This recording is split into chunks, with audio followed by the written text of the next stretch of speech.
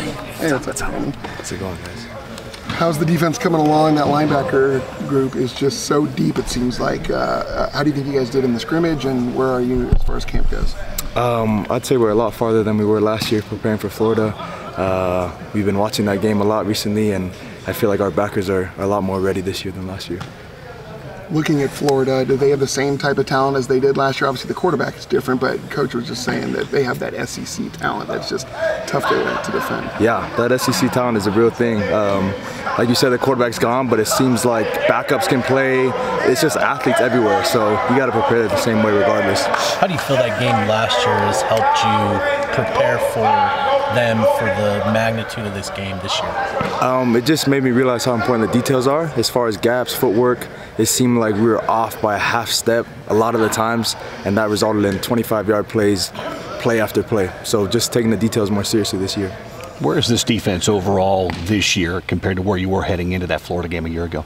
A lot further along, in my opinion. Um, a lot more talent, a lot more confidence as far as mentality, and uh, just everyone seems ready. How's Damuni fitting into the room? Really, really well. Um, he's a smart player, big, physical, and uh, he's he's added a lot of leadership to the room as well.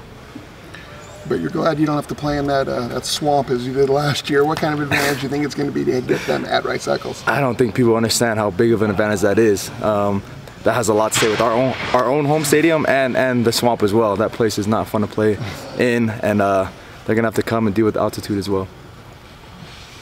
How about your offensive line? You see him in practice. You won't see him as much now with Florida preparation going, but through the camp, what did you see from the guys up front offensively for you? Just a lot better technique compared to last year. Um, obviously, I feel that I've gotten better, but I, I couldn't believe what I was seeing day after day in fall camp. These guys have been working their butts off, so it's been great. What makes this year so different with that defense, where you do feel like you're, you're feeling more more prepared? Uh, just experience. I think the leaders have more confidence.